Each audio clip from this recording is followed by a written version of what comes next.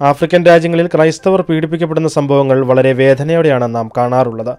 ക്രൈസ്തവർ ആക്രമിക്കപ്പെടുകയും കൊല്ലപ്പെടുകയും ചെയ്യുന്ന നിരവധി വാർത്തകളാണ് ദിനംപ്രതി ഇവിടങ്ങളിൽ നിന്ന് പുറത്തു വരുന്നത് എന്നാൽ ഇവരെ പോലെ തന്നെ ഭീതിയുടെ നിഴലിൽ കഴിയുന്ന വിശ്വാസികളാണ് ബംഗ്ലാദേശിലെയും ശ്രീലങ്കയിലെയും ക്രൈസ്തവർ. അനുദിനം ഇവിടെയും ക്രൈസ്തവർക്കെതിരായ ആക്രമണങ്ങൾ വർദ്ധിച്ചു വരുന്നു എന്നതിന് തെളിവാണ് അവിടെ നിന്നും പുറത്തു വരുന്ന വാർത്തകൾ. നൂറ്റി എഴുപത് ദശലക്ഷത്തിലധികം ജനസംഖ്യയുള്ള ദക്ഷിണേഷ്യൻ രാജ്യമായ ബംഗ്ലാദേശിലെ തൊണ്ണൂറ് ശതമാനം ആളുകളും മുസ്ലിങ്ങളും ബാക്കിയുള്ളവരിൽ ഭൂരിഭാഗം ഹിന്ദുക്കളുമാണ്.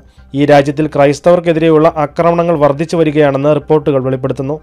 പല ക്രിസ്ത്യാനികളുടെയും ജീവിത നിലവാരം കുറയ്ക്കുന്ന തരത്തിലുള്ള വിവേചനങ്ങളിൽ നിന്നാരംഭിച്ച് ക്രമേണ ആക്രമണത്തിലേക്ക് നയിക്കുന്ന കാഴ്ചയാണ് ഇവിടെ കണ്ടുവരുന്നത്.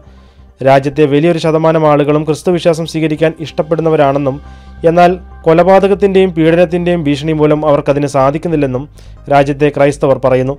അതോടൊപ്പം മുസ്ലിം ഭൂരിപക്ഷമുള്ള ബംഗ്ലാദേശിൽ ബലപ്രയോഗത്തിലൂടെയോ വ്യാജരേഖകൾ ഉപയോഗിച്ചോ ക്രൈസ്തവരുടെ ഭൂമി കൈക്കലാക്കിയ മുസ്ലിമുകൾക്കെതിരെ പോരാടാൻ അഭിഭാഷകരെ ആശ്രയിക്കാൻ ചില ക്രിസ്ത്യാനികൾ നിർബന്ധിതരാകുന്നുവെന്ന് രാജ്യത്തെ പേര് വെളിപ്പെടുത്താൻ ആഗ്രഹിക്കാത്ത ഒരാൾ പറഞ്ഞു.